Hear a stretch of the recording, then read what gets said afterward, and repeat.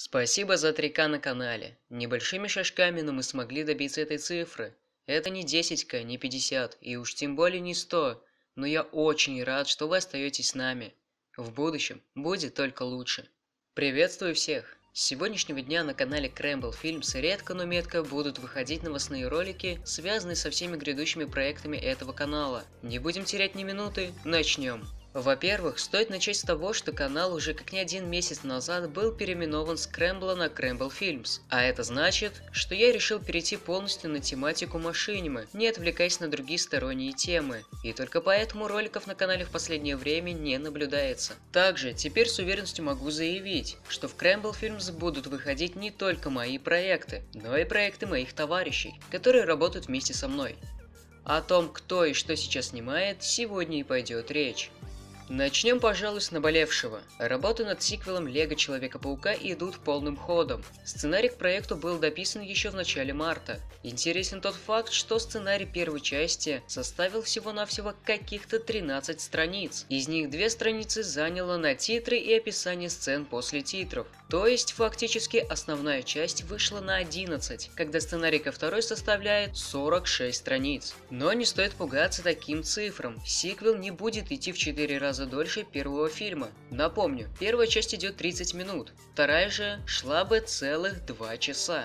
Но нет, хронометраж второй части будет около часа с небольшим, а такое большое количество страниц объяснимо тем, что в сценарии много описания сцен. Что касаемо самих съемок, как оказалось, большая половина всего фильма займут хромакейные сцены, то бишь на зеленом фоне. Да-да, косим под Голливуд. На самом же деле эти сцены необходимы только для того, чтобы показать персонажей в помещениях, в Аскорпе, доме Паркеров, доме Курта Коннорса и так далее. Все экшн-сцены будут сниматься на просторах самой игры. Да-да-да, наверняка всем просто-напросто плевать на всю ту информацию, что я говорил ранее. Всех интересует только один вопрос. Когда же уже сам фильм выйдет? На данный вопрос ответить сложно, ибо бывают дни, когда работы не идут вовсе, или идут, но очень медленно. Также не только от одного меня зависит скорый выход проекта. У меня также есть некоторые сложности с озвучкой, которые нужно решать. Поэтому, когда точно выйдет фильм, сказать очень сложно. Единственное, когда выйдет финальный трейлер к фильму, знайте,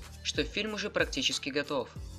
Первый проект, который выйдет спустя месяц после выхода Лего Человека-паука экспериментального проекта, станет сольный фильм о Капитане Америка. Проектом займется один из моих товарищей, то есть фактически это будет первый проект, снятый не мною. На данный момент вышел первый тизер-трейлер к нему, который вы уже можете посмотреть на этом канале. Сценарием занимался сам режиссер и один из наших сценаристов, с которым, к слову, мы работаем над сценарием к нашему первому сериалу. Что касаемо самого сценария Капитану Америка, то он написан, но сейчас дорабатывается мною. К сожалению, со съемками вышли небольшие трудности. Фильм был практически полностью снят, но из-за проблем с компьютером все пропало, поэтому пришлось переснимать все с нуля. Выходил первый официальный постер к проекту, на котором четко можно понять, кто станет одним из главных антагонистов картины, а именно Барон Зема.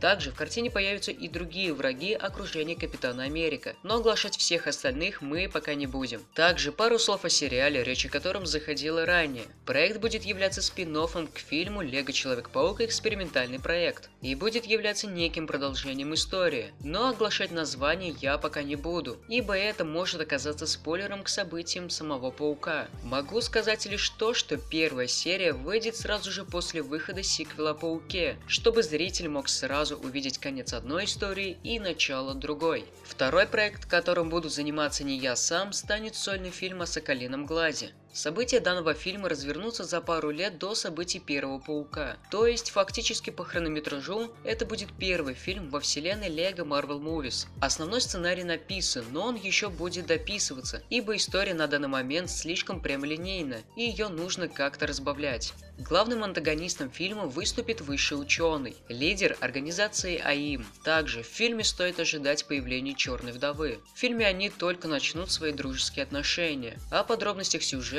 пока нет смысла рассказывать. И завершим наш ролик проектом о Железном Кулаке, с которым, грубо говоря, сейчас большое затишье. Режиссер данного проекта не выходит на связь, ничем не делится и чем он занимается на данный момент нам также неизвестно. Фильм снят, но у него большие проблемы с озвучкой. Поэтому те, кто ждет его, ответить на вопрос, когда же он выйдет, мы не сможем. На этом все. Те, кому действительно интересны наши проекты, то подписывайтесь в первую очередь на наш паблик во Вконтакте, ибо все самые свежие новости публикуются именно там, а не здесь. Например, вот э, в этом ролике я вообще огласил новость, которая публиковалась в группе еще полгода назад. Но и на канал также подписывайтесь, активность нам никогда не помешает. Спасибо, что вы с нами, удачи!